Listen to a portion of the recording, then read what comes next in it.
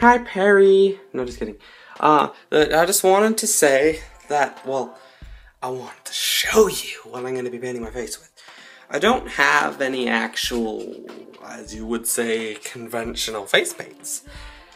I use watercolor. So there's like watercolor palette, which I actually haven't used before, and then there's watercolor tubes, as you can see in here. Uh, there's my thing of water, and I have a couple brushes, they're just not out yet. Um, and there's watercolor pencils, which I am missing a bunch of, which isn't good. But, um, so I will be using all of my watercolor items to paint my face today. Okay. Um, so I'm gonna paint my face, and for sakes, um, I don't have any camera, I just have my iPod, you see? You're wondering, there's like a lamp here and a lamp there and a lamp there and a lamp there and a lamp there. I have a lot of lights in my room. Um, but I'm gonna be painting my face, and I I guess I'm just gonna have to show you little bits in between because I can't really have anything. Right now, I'm trying to use a string to hold my like a little like a little carriage. So I guess I'm just gonna have to show you throughout as I do it, and then I'll show you like the finale and this is just kind of what I do when I'm bored, and it doesn't mean anything to me. Um, well, you know, it's just fun. Touch lamp. Sorry, getting distracted. Okay, just okay. So yeah, I'm gonna paint my face. See you in a minute. Oh, in a. See you in a small amount of time. I don't know if you can really notice, but I've actually uh, applied a coat of white. Some white. Oh, you can still see it the lines.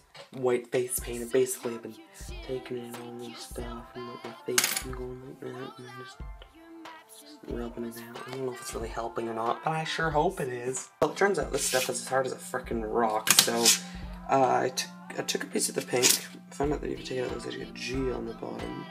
So I took the pink out and I broke off a chunk, and then I crushed it up with this paintbrush.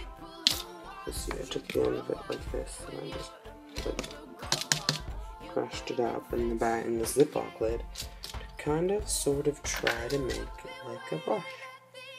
So my paintbrush is a little bit wet right now, so I don't really know how it's gonna work, how well it's gonna work.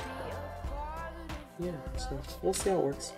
Well, I've done a bit on my eye and a bit on my cheeks, a little, a little bit more blush So we'll talk to you in a minute. How did I find out how I look as a woman? So this is for you, Taylor understand that it's because my lips are red and that's her album.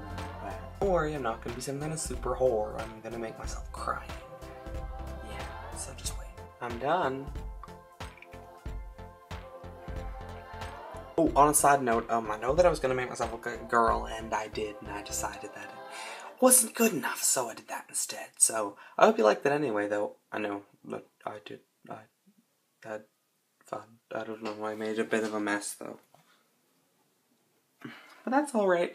I actually didn't use the watercolor pencils. I just used, well, that. And those. So yeah, bye.